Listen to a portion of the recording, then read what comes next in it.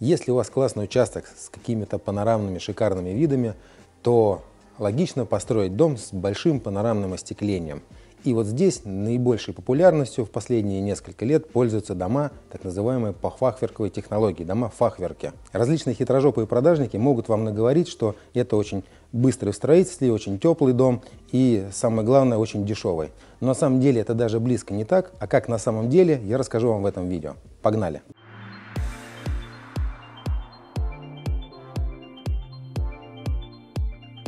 По сути, фахверковый дом – это обычный каркасный дом, то есть это стоечно-ригельная система с некоторыми нюансами, о которых я сейчас вам расскажу. Это такой каркасник, у которого главное отличие в том, что все силовые конструкции, все стойки, все балки, все видны. То есть даже готовый дом, он подразумевает наличие вот этих видимых конструкционных элементов, стоек, ригелей, всяких балок, стропильной системы и всего остального. И вот эта особенность как раз накладывает некоторые технические нюансы и специфику по его отделке и утеплению. И вот применение такого конструктива, это преимущественно, кстати, деревянные, как правило, клееные конструкционные балки, клееный брус, позволяет нам максимально увеличить пространство внутри дома. Здесь мы не как в каркаснике в обычном делаем кучу досок, набиваем кучу перегородок, чтобы хоть как-то обеспечить жесткость дома и наличие стенок. Вся фишка в том, что мы можем сделать несколько несущих элементов, несколько ригелей, и все. А остальное, все пространство заполнить, например, стеклом, стеклопакетами.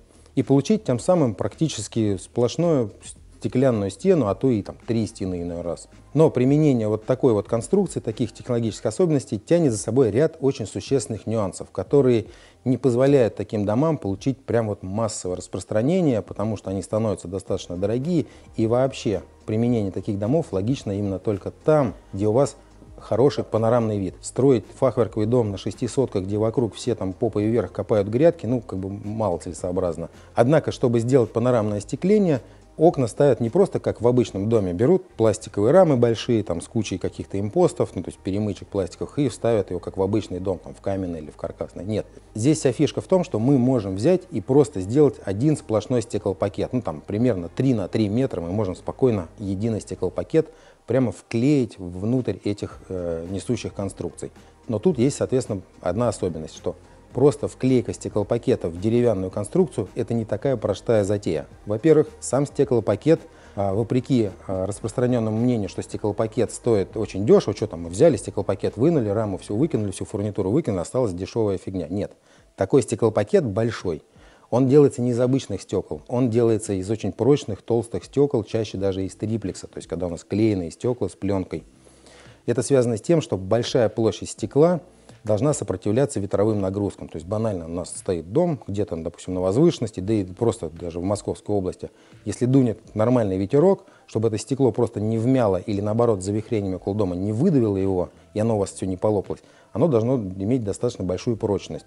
Поэтому это стеклопакеты с толстыми стеклами.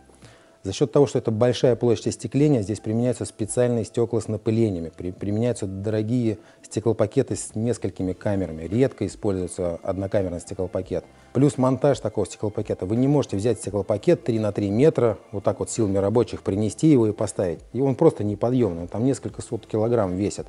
Такие стеклопакеты ставятся специальной техникой. Приезжает специальный манипулятор с такой хваталкой, липучкой, как осьминог, цепляется к ней, присасывается, и этот стеклопакет, соответственно, прикладывает к оконному проему, где уже рабочие своими силами аккуратно наносят герметики, оформляют монтаж этого стеклопакета, применяются, естественно, дорогие герметики. Правильно нужно подготовить место для установки, то есть это на заводе должны вырезать специальные пазы для установки этих стеклопакетов.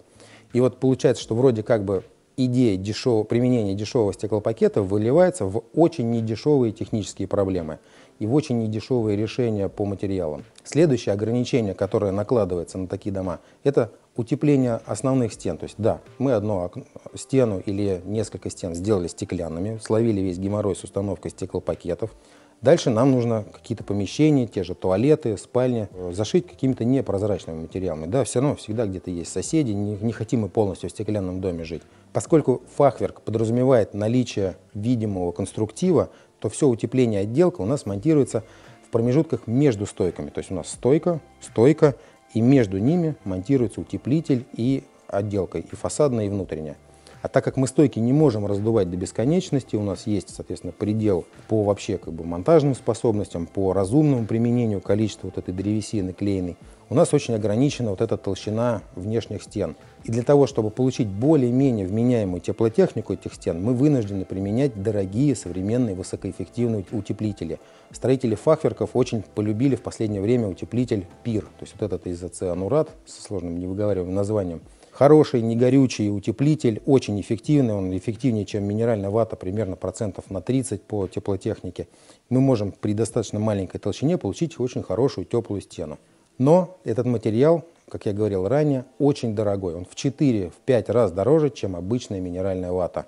Плюс особенность того, что у нас все-таки каркас виден, и у нас между каркасными элементами, силовыми элементами стоит утеплитель.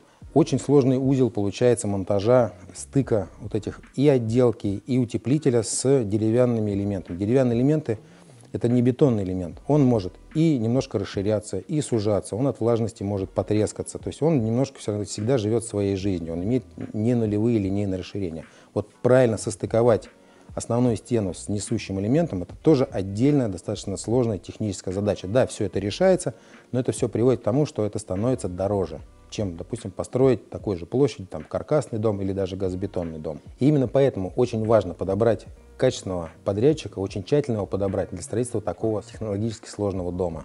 Обязательно нужно сделать качественный проект, проектную документацию. Не получится просто по архитектурному плану построить такой дом. Здесь именно важны детали, узлы. Вот проработка этих узлов, тщательная проработка проекта и потом тщательный выбор подрядчика, который это может реализовать качественно на должном уровне. И вот совокупность именно этих факторов позволит вам построить качественный фахверковый дом, который не будет потом вам вынимать мозги там, треснувшими стеклопакетами, шатаниями, какими-то продуваниями и холодными стенами, а будет приносить исключительно удовольствие от того участка, на котором вы его поставили, от самого дома, который вы построили. Переходите по ссылке в описании, мы подберем вам идеальный дом и сделаем бесплатный расчет. В чем главная сказка про быстровозводимость? Да, на самом объекте, непосредственно на участке, все процессы делаются довольно быстро. Опять же, там условно есть свои нюансы, но в целом все можно собрать очень быстро. Но а вопрос в том, что это все нужно заранее напилить на производстве. Сначала нужно сделать проект, потом отдать это на производство, которое, как правило, достаточно загружено. И там тщательно все это напилить, подготовить, подогнать, и потом только привести на участок, где, да, все это можно быстро собрать. Поэтому на круг весь цикл строительства на самом деле не сильно меньше, чем любого каркасного дома, а то и иной раз и газобетонный дом. Дома такие строятся не за 5 секунд, у них долгий срок именно подготовки. Еще одним нюансом таких домов является то, что у них достаточно плохая звукоизоляция, поскольку весь утеплитель достаточно тонкий и применяется в основном утеплители типа PIR, они очень хорошо проводят звук. Поэтому такие дома желательно ставить все-таки там, где достаточно тихо либо применять к ним какую-то тяжелую такую отделку, например, на основе фиброцемента, чтобы хоть как-то улучшить звукоизоляцию. Или даже некоторые производители применяют различные комбинированные э, способы утепления. Там напихают туда и пир, и древесно-волокнистую плиту, и минвату высокой плотности, и отделку какую-то из тяжелых материалов. И вот эти сложные пироги опять приводят к еще большему удорожанию вот этой технологии. А как не замерзнуть в этих огромных стеклянных окнах? А, ну, замерзнуть современными окнами достаточно сложно. Да, любой практически стеклопакет, особенно если это максимально стандартный там, по составу стеклопакет, он будет намного холоднее, чем нормально утепленная, современная, там, даже каркасная стена. Но тут смысл в чем? Что это все-таки дорогая игрушка. Этот дом не рассчитан на то, чтобы его по-дешевому отапливать каким-нибудь углем. То есть если вы такой дом строите на каком-то хорошем участке, участок, как правило, стоит дорого, строительство такого дома стоит дорого, вы должны подразумевать, что и расходы на содержание и отопление такого дома тоже будут дороже, чем на содержание, допустим, высокоэффективного с точки зрения затрат энергии каркасника или СИП-панельного дома или газобетона с утеплением. То есть это все-таки такая дорогая игрушка. И нельзя здесь говорить про какую-то супер теплоэффективность. То есть да, вы в нем не замерзнете, естественно но расходы на содержание будут выше, чем в аналогичных домах э, ну, по другим технологиям. Такие дома, как правило, дороже по сравнению, допустим, с обычным каркасником или СИП-панельным домом раза в полтора-в два. Тут все сильно зависит от деталей, конечно, то есть если прям в лоб сравнивать, то примерно такая разница будет. Но на самом деле такие дома еще дороже, потому что все хотят максимально большие стеклопакеты, максимально большие свесы. То есть такие дома хорошо смотрятся, когда у них они в таком стиле шале сделаны, у них очень большие свесы карнизные, соответственно, это тоже дополнительные расходы. вот это применение высокоэффективных утеплителей типа пир и сложных комбинаций этих утеплителей, это все еще больше удорожает и без того как недешевую эту конструкцию. Поэтому, да, такой дом будет дороже. Наверное, сопоставим больше наверное, с клеенным брусом будет по цене. То есть, конечно, каркасник будет в разы дешевле, особенно каркасник с обычными маленькими окошками. То есть, если есть деньги, то, конечно, надо такой строить дом. Если у вас участок соответствующий, конечно, надо строить такой дом или с применением этих технологий. То есть можно построить на самом деле комбинированный дом. Допустим, там задняя часть каменная, передняя фахверковая с панорамными окнами. Можно эти две технологии поженить, тут никаких проблем нет. И с этими панорамными окнами всплывает еще один такой нюанс, что они глухие, их нельзя открыть. Получается, у вас вот это панорамное остекление, стены с панорамным остеклением, они не имеют никаких форточек, ничего такого для проветривания. Максимум, что вы можете сделать, где-то поставить дверь, например, для выхода на террасу. Но все остальное вот это остекление, оно будет исключительно глухое. И тут возникает вопрос, а что делать с проветриванием?